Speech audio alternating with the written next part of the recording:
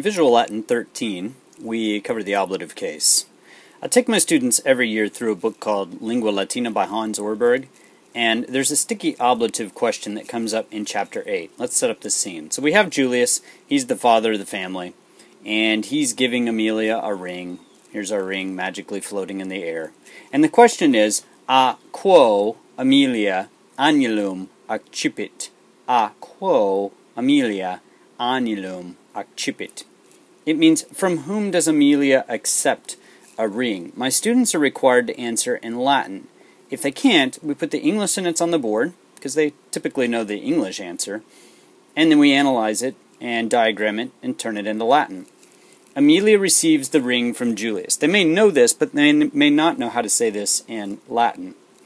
So we analyze it together Amelia is the subject. Always underline the subject one time. She's in the nominative case. What's she doing? She's receiving. Always underline the verb twice.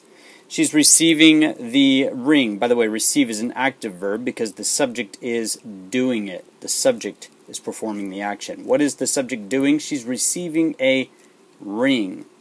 The ring, which is being passed around in this sentence, is the direct object. It's in the accusative case. And she's receiving the ring from. From is a preposition, which puts this in a prepositional phrase. The other side of the prepositional phrase is Julius. He's the object of the preposition.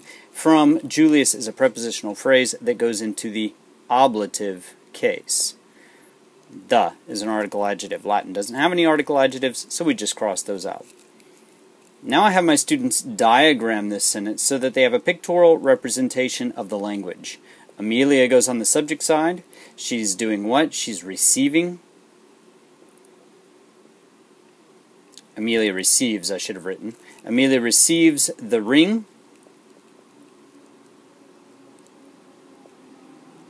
And she receives the ring from, that's the preposition, from Julius. Here's the object of the preposition.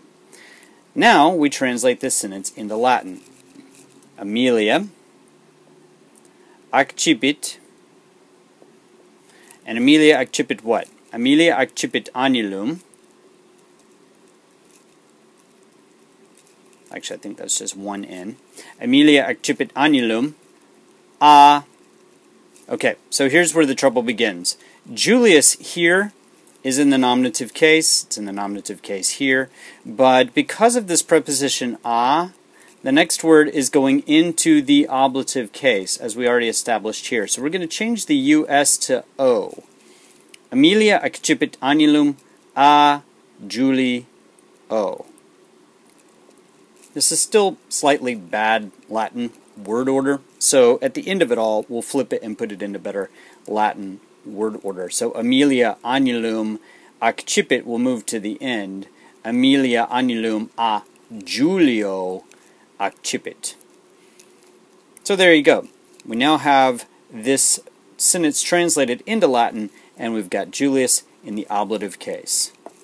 If you like this uh, tutorial and you enjoy bad handwriting, then by all means subscribe and learn more. I'll see you next time.